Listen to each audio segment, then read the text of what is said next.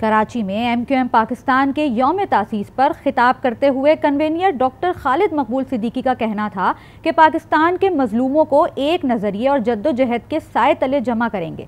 Senior deputy convener Mustafa कमाल ने कहा कि सूबाई हुकूमत के कानून साजों ने बुनियादी हकूक़ से मरहूम रखा हुआ है। डॉक्टर फारूक सत्तार ने कहा कि साबित हो गया कि बल्दियाती इलेक्शन धांधली ज़दा था। मुल्क को मौजूदा मुआशी बहरान से सिर्फ़ एम क्यू एम ही निकाल सकती है। तमाम मजलूम एक आवाज़ होकर और एक परचम के तले अगर जद्दोजहद करेंगे तो इन ताला पाकिस्तान जिस मकसद के लिए बना था उस मंजिल तक ज़रूर पहुँच पाएगा। हम ये मुतालबा करते हैं कि पाकिस्तान के आइन में मुझे मेरी गली के अख्तियार और वसाइल का तहफ़ फराम किया जाए।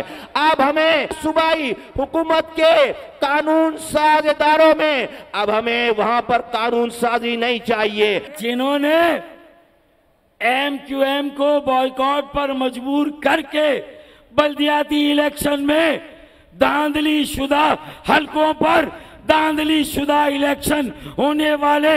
अरे भाई, जो पिचासी फ़ीसद वोट नहीं पड़ा, जो अट्ठासी फ़ीसद वोट नहीं पड़ा, आज वो वोटर, वो वोट बैंक यहाँ जलसे में बैठा हुआ है।